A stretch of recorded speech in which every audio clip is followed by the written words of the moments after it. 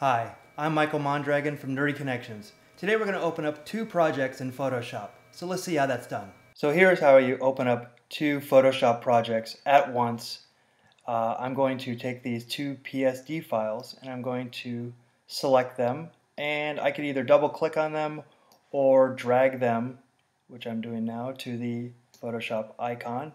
And both those projects open up at the same time. And as you notice, the brand logos here are tabbed also with the other Photoshop document. And I can actually take this and click and drag and pull that off so it becomes its own separate file and I can actually click on this one as well and as you see it hides the second one because this one is still tabbed if I were to take this and now I can move this one along. And there's other ways of, of arranging these. I can actually go to the window and I can tile both of those vertically.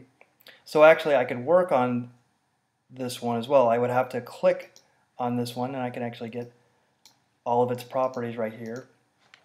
And I can click back on the second one and get the properties right there. So I can actually edit it on the fly. There's actually different arrange. I can arrange it horizontally, which actually is better for this one. It fits on my screen really well.